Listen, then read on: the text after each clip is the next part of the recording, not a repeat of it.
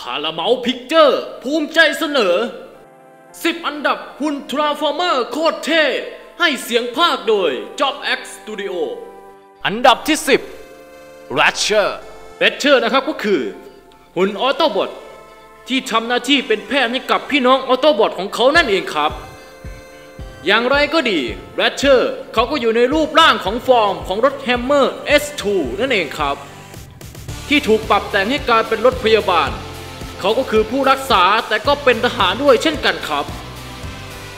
ความกล้าหาญและความพักดีของแรดเชอร์ มักถูกแสดงออกมาให้เห็นแล้วครั้งแล้วครั้งเล่า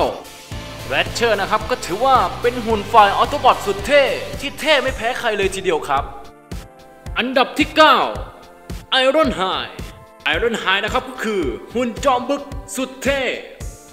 เป็นพวกขาลุยนั่นเองครับ Ironhide นะครับ แม้จะดูหยาบกระด้าง แต่เขาก็ใจดี Ironhide สามารถยิงของเหลวแบบต่างๆได้ ตั้งแต่ไนโตรเจนเหลว ความเย็นสูงจนถึงตะกั่วที่ร้อนจัดอีกด้วยครับ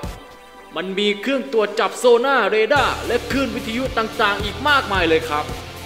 ถึงแม้ Ironhide จะเป็น Autobot ที่เคลื่อนไหวช้าที่สุด แต่ผิวของ Ironhide ทำจากไทเทเนียม steel alloy ที่ถูกฉีดผสมกับคาร์บอนไฟเบอร์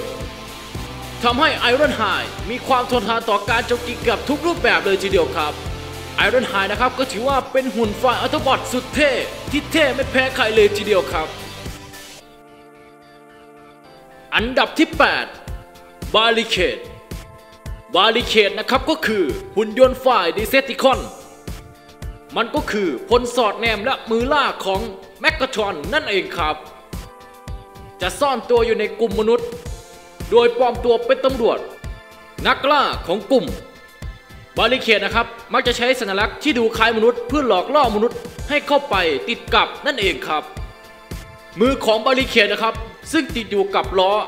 สามารถแปลงให้กลายเป็นหนามแหลม และปืนที่โผล่ออกจากส่วนของหลังคาในหมวดของรถยนต์อีกด้วยครับ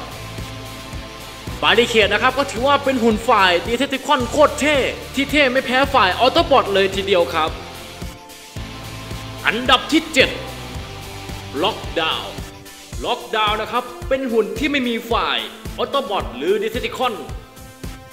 ล็อกดาวน์เป็นหุ่นนักล่าฆ่าหัวศัตรูตัวฉกาจของ Optimus Prime นั่นเองครับ เขาเดินทางไปทั่วกาแล็กซี่เพื่อเก็บเกี่ยวของที่ระลึกนั่นเองครับ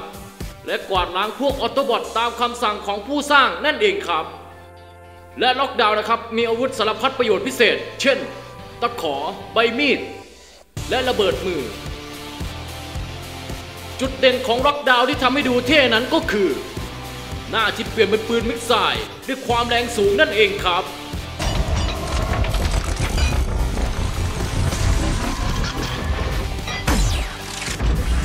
ล็อกดาวน์นะครับก็ถือว่าเป็นหุ่น Transformers สุดเท่ ที่เท่ไม่แพ้หุ่นตัวไหนก็เลยทีเดียวครับ อันดับที่ 6 Grimlock Grimlock นะครับก็คือ ผู้นำกลุ่ม Dinobotที่มีร่างเป็นไดโนเสาร์ทุกตัวนั่นเองครับกิมร็อกนะครับก็ยังเป็นไนโดบอทประจำตัวของออ t ติมัสพามอีกด้วยครับ อาวุธของ Grimlock นั้นก็คือ เปลวไฟความร้อนสูงจากปากของ Grimlock และไม้กระบองของเขานั่นเองครับ Grimlock นะครับก็ถือว่าเป็นหุ่นอัศวินนักรบ Dinobot บาบาเลียน ที่โคตรเท่ไม่แพ้หุ่นตัวไหนกันเลยทีเดียวครับ อันดับที่ 5 Horse Loss ฮอสตัวนะครับก็คือหุ่นยนต์ฝ่ายออโตบอทที่พูดสำเนียงฝรั่งเศส และเป็นคู่หูและสหายร่วมรบของบัมเบิลบีมาตั้งแต่สมัยสงครามโลกนั่นเองครับฮอสรอนะครับก็ยังเป็นหุ่นคุ้มครองของทันเซอร์เบตัน และรวมไปถึงดรวิลเลียมเบเลียบมีร่างแปลงเป็นรถเลมโบกินี ซูเปอร์คาร์ 7704 นั่นเองครับHot Rod นะครับก็ถือว่าเป็นหุ่นฝ่าย Autobot สุดเท่ ที่เท่ไม่แพ้หุ่นตัวไหนกันเลยทีเดียวครับ อันดับที่ 4 ไซสไวส์ไซสไวส์นะครับก็คือหุ่นยนต์ฝ่าย Autobot เป็นหุ่นที่เชี่ยวชาญในการต่อสู้ด้วยดาบนั่นเองครับ จุดเด่นของไซสไวส์นั้นก็คือ เท้าที่ติดที่ล้อที่ทำให้ไซสไวส์ ดูเท่เฟี้ยวฟ้าวมะพร้าวแก้วนั่นเองครับ และยังทำให้ไซสวส์สะดวกต่อการเคลื่อนที่ และว่องไวต่อการโจมตีนั่นเองครับ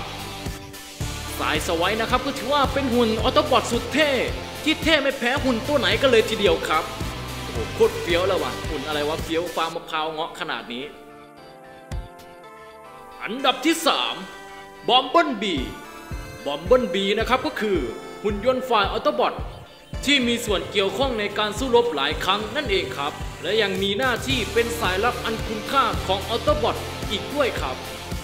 หน้าที่ของ Bumblebee นั้นก็คือ ภารกิจลาดตระเวน โดยทำหน้าที่เป็นหน่วยสอดแนมผู้ลุยอย่างหาญกล้า สู่ภารกิจที่มีอันตรายนั่นเองครับ จุดเด่นของ Bumblebee นั้นก็คือ มือข้างขวาที่เปลี่ยนเป็นปืนพลาสมาแรงสูงนั่นเองครับ ที่ยิงแต่ละนัดเนี่ย ผมต้องบอกเลยว่า แตกหนึ่งแตกสองสวยพี่สวยกันเลยทีเดียวครับบอลบนบีนะครับก็ถือว่าเป็นหุ่นฝ่ายออโตบอทสุดเท่ที่โคตรเท่ไม่แพ้หุ่นตัวไหนกันเลยทีเดียวครับ และในปีนี้บอ b บ l นบีก็ได้มีหนังเดี่ยวออกมา ที่จะเข้าฉายในเดือนธันวาคมนี้ This is why you're here, B.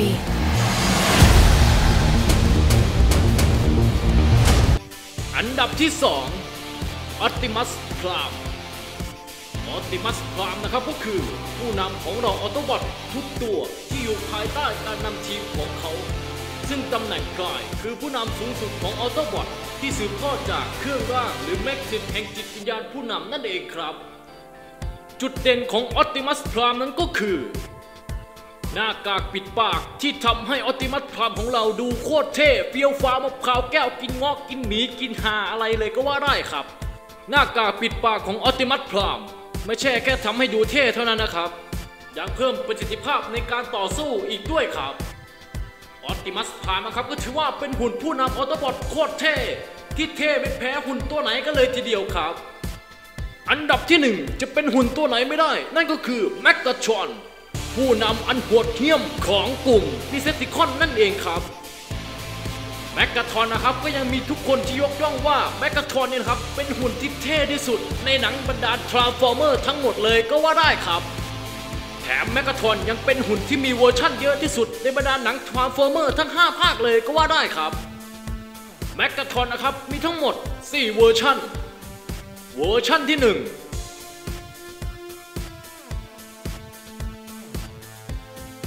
เวอร์ชั่นที่ 2 เวอร์ชั่นที่ 3 เวอร์ชั่นที่ 4 Megatron นะครับก็ถือว่าเป็นหุ่นหัวหน้าฝ่าย Decepticon ที่โคตรเท่กว่าหุ่นทุกตัวในหนัง Transformers ทั้ง 5 ภาคเลยก็ว่าได้ครับ